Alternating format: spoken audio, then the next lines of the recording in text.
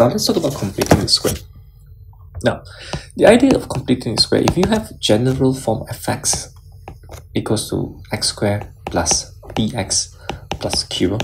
So to complete the square, we take half of b, which is uh, b over 2. You put in the bracket, you square it straight away. Then you minus this b over 2 square plus q. Okay, so this is uh, more like a technique, not so much like a formula. So I'll give you a few examples. Let's start with x squared. Let's say if you have a, we start with a positive number, positive 6, let's say um, minus 2. So to complete the square, we take half of 6. Okay, half of 6 which is 3. Since it's a positive, so we put a plus 3. And 3 squared is going to give us 9. And this term is always minus, so it's minus 9 minus 2 answer x plus 3 squared minus 11.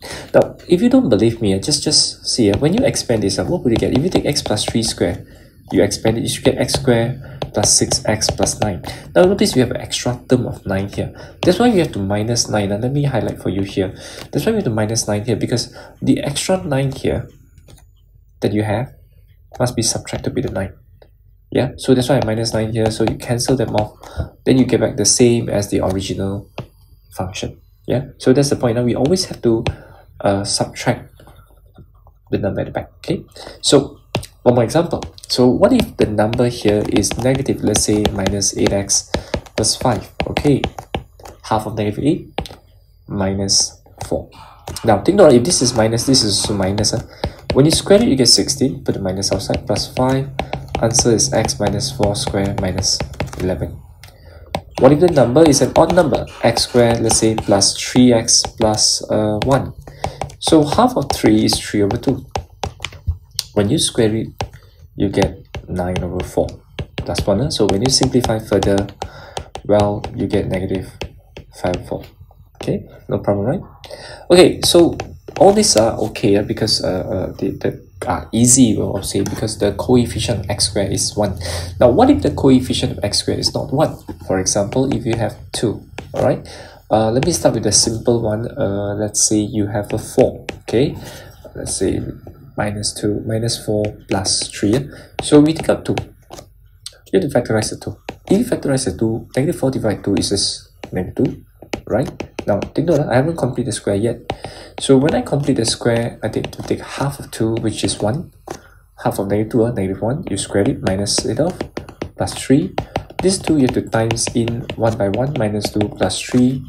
Well, my outcome is this. Okay? Right. Now, what if the number is like negative? Okay, I'll give you another example. So let's say you have negative x squared um, let's make it a bit difficult, a little bit difficult, plus 5x plus 3. Okay, uh, should I not use 3? I've used 3 just now, so let's use uh, 2. Okay, we're to take out the negative here. So when I take out negative 5, when you take a negative, it's going to be negative 5 now.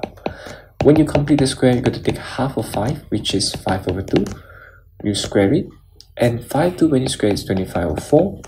Alright, and the negative when you times inside, you get negative 5 over 2 plus 25 over 4 plus 2 and when you simplify further this is 8 plus 25 33 over 4 okay last one what if I have like something like negative 3 okay so let's say you have uh, okay let me not put the bracket first.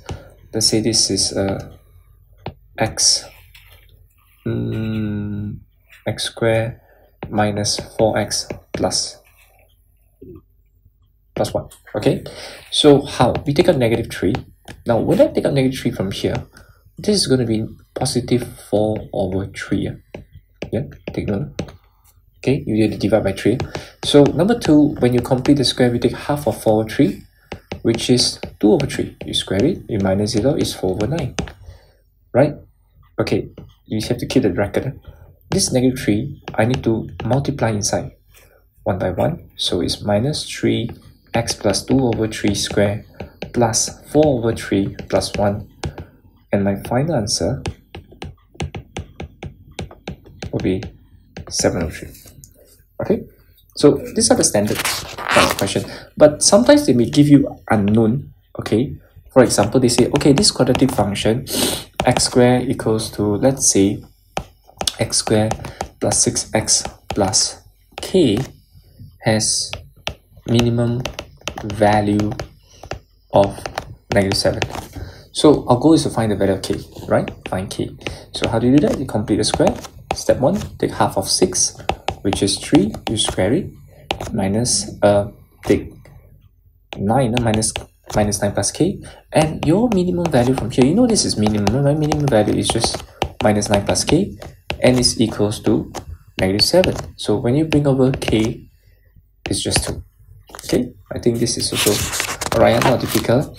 Now another type of question would be they give us a quadratic function they give a graph let's say. Uh, let's say my graph looks like um, should i say this right? And the graph function is y equals to okay i tell you what i give you maximum. Minimum is too easy. Let me give you maximum something different. So let's say you have a maximum graph like this.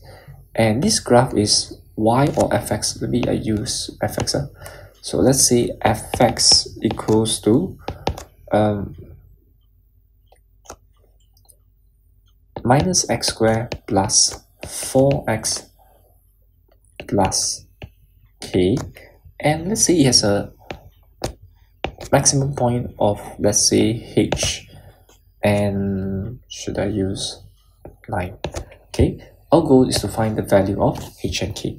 So now normally they would ask you to express fx in the form of let's say fx equals to minus x plus b squared plus c okay and then hence find h and k.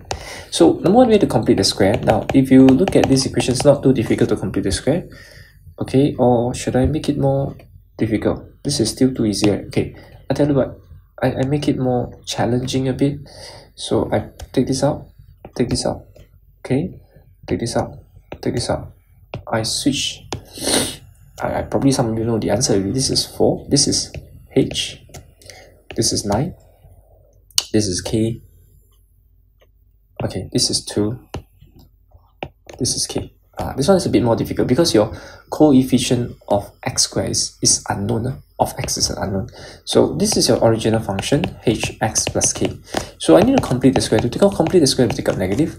This is minus hx plus 9 yeah? This one is a bit more dif difficult because there's an unknown inside here. If your unknown is outside based on your constant it's easier.